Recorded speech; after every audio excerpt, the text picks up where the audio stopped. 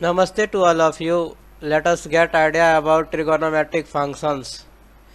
Let us start the chapter. In this chapter, uh, we shall clear the some concept and solve the questions of given exercise of this chapter.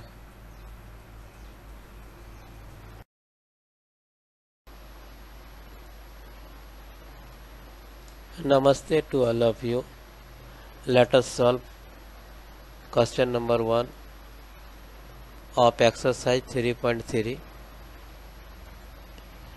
In this question ask us prove that sin square pi by 6 plus cos square pi by 3 minus tan square pi by 4 equal to minus 1 by 2. Let us solve this question from LHS. We know that the value of sin pi by 6 or 30 degree is 1 by 2.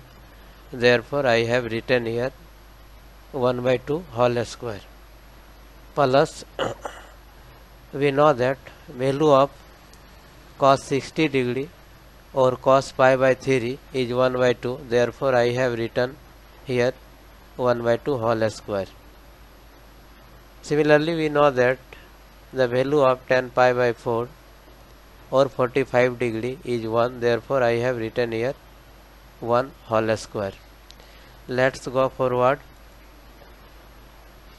Square of 1 by 2 equal to 1 by 4 a square of 1 by 2 equal to 1 by 4 a square of 1 equal to 1 let's go forward we take 4 as the LCM of 4 4 and 1 here will be 1 plus 1 minus 4 let's go forward. 1 plus 1 minus 4 equal to minus 2 by 4 this one and this one cancelled out by 2 here we get 1 and here we get 2 therefore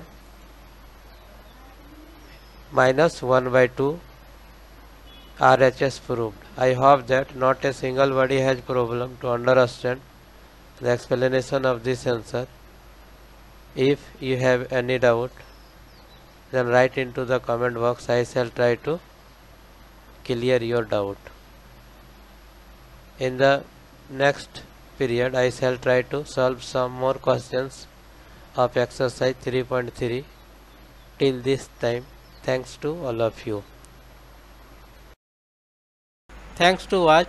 As per your requirement, you write down uh, your question into the comment box. I shall try to solve your question. Once again, I thanks to all of you